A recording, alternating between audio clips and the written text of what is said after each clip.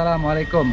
Hai, apa khabar semua? Okey, jumpa lagi di channel 20 Sen. Okey, hari ini saya berada di rumah seniman Nordin Ahmad yang terletak di Sungai Besar Selangor. Di belakang sana adalah rumah Nordin Ahmad.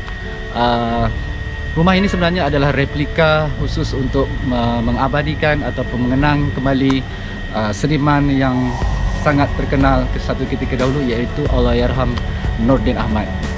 Jom kita lihat apa yang ada di dalam rumah Nordin Ahmad.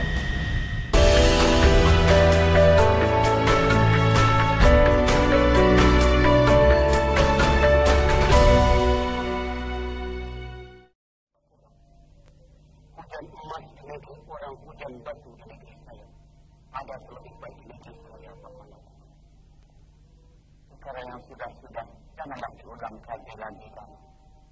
Tetapi ku harap terimalah tawaran ini. Tidak. Kajang Pak Malau, kajang belipat, kajang saya mengkuang lagi. Dagang Pak Malau, dagang bertempat.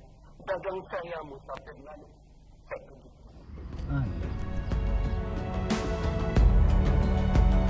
Sebuah rumah yang diberi nama Rumah Nordin Ahmad telah diwujudkan di Kampung Tebuk Haji Yusof, Sungai Besar Selangor adalah untuk mengenang dan menghargai bakat pelakon Melayu klasik Allahyarham Nordin Ahmad dalam industri perfilman tanah air. Rumah kayu lama dua tingkat yang mempunyai dua bilik itu dikenali sebagai rumah ibu dipilih kerana dikatakan mempunyai ciri hampir sama dengan rumah asal pelakon itu. Ia dibangunkan dengan kerjasama Kelab Filem dan Muzik Melayu dan Pertubuhan Komuniti Rumah Kayu Sungai Besar Selangor. Seniman Nordin Ahmad adalah kelahiran kampung kota Permatang Pasir, Pulau Pinang. Beliau dilahirkan pada 4 Ogos 1929. Anak kedua daripada enam beradik ini dilahirkan di dalam keluarga yang sederhana.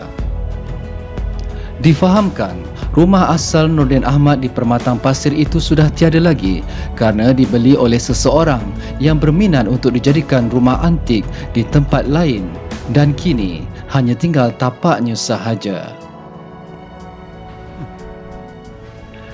Komuniti di Selangor yang berbesar hati mewujudkan satu tempat sebagai mercu tanda yang boleh kita kenang siapa itu Nordin Ahmad. Kewujudan rumah tersebut merupakan langkah tepat dalam menghargai seniman hebat seperti Nordin Ahmad. Kewujudan rumah itu secara tidak langsung dapat menaikkan serta memertabatkan kembali nama Nordin Ahmad. Walaupun rumah ini dijadikan rumah inap desa dan dalam usaha mendekatkan peminat dengan Nordin Ahmad, pengunjung dapat bermalam atau tinggal di sini dengan kemudahan yang serba lengkap. Ia juga salah satu lagi produk pelancongan yang mampu menggamit orang luar datang ke desa yang terkenal dengan sawah padi dan pantai. Menerusi kunjungan orang ramai ke rumah Nordin Ahmad secara tidak langsung, pengunjung dapat mengenali dengan lebih dekat siapakah seniman Nordin Ahmad itu. Bulan dan bintang juga telah menyaksikan yang kita telah memadu kasih. Oh, Bang Jebat. Ya, adangku sayang. Kaulah Dewi pujaanku.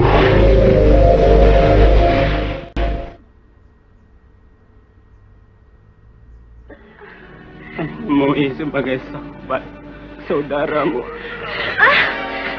Ah, Jebat. Ya Allah, Tuhan. Ya. Jebat. Tolonglah Linda sedikit air, Tuhan. Jebat.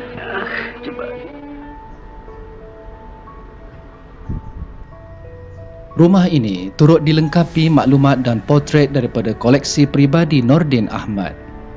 Terdapat kira-kira 80 koleksi gambar pelakon berkenaan yang rata-ratanya belum pernah dipertontonkan kepada umum.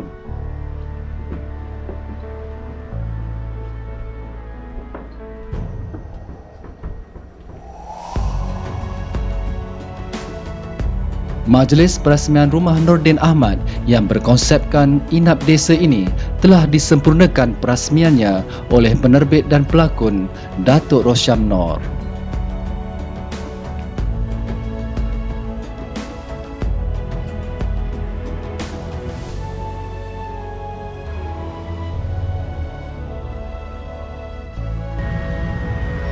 Jika anda datang bersama keluarga, bolehlah berkunjung ke sini untuk menginap dan menyewa di kawasan uh, homestay ini.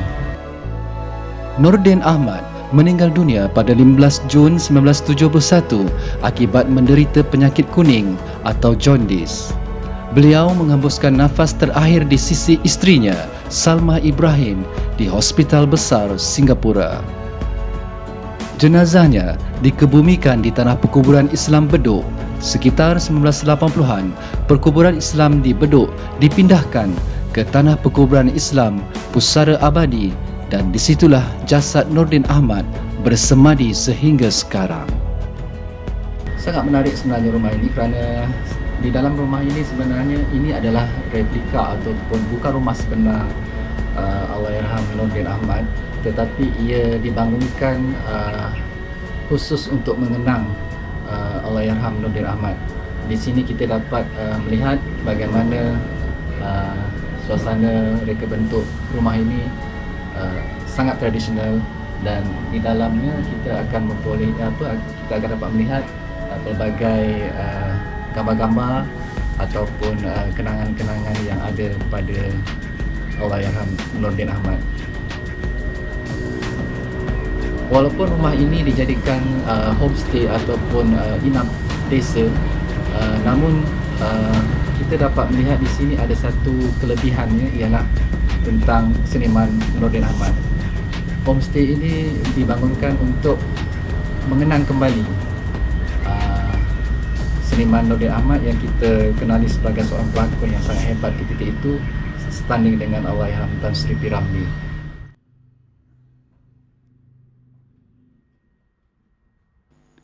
Selain dijadikan inap desa, rumah Nordin Ahmad juga sebagai lokasi tarikan pelancong yang juga memberi ruang kepada pembangunan apresiasi sejarah industri filem Melayu klasik melalui eksplorasi informasi, pameran dan khazanah karyawan serta seniman yang hebat ini.